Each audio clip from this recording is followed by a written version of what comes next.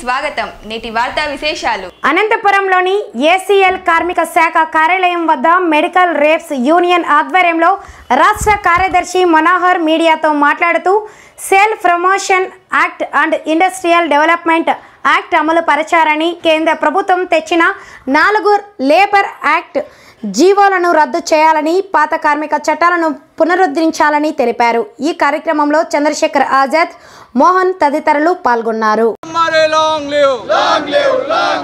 FMRA long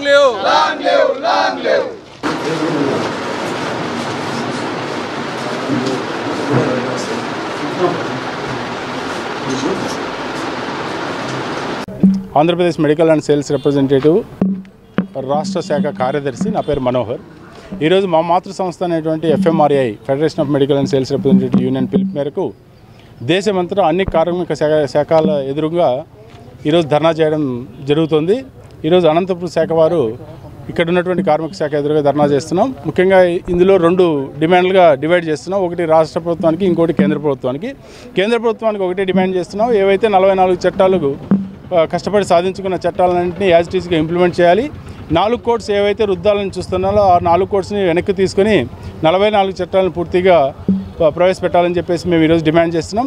అట్లా కేంద్ర ప్రభుత్వానికి మేము డిమాండ్ చేస్తున్నాం. మెడికల్ అండ్ సేల్స్ రిప్రజెంటేటివ్ ఇంతవరకు పని విధానాన్ని నిర్దేశించలేదు. అది కేంద్ర ప్రభుత్వం యొక్క మినిమం కట్టసి పని విధానాన్ని కూడా మాకు నిర్దేశించాలని చెప్పేసి కేంద్ర ప్రభుత్వాన్ని డిమాండ్ చేస్తున్నాం.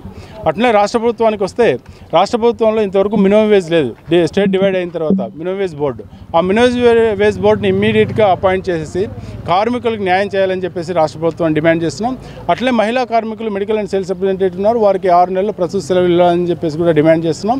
అదే కాకుండా ఈరోజు కార్మిక శాఖలో గత దశాబ్ద కాలంగా ఎన్నో కేసులు వేస్తున్నాం.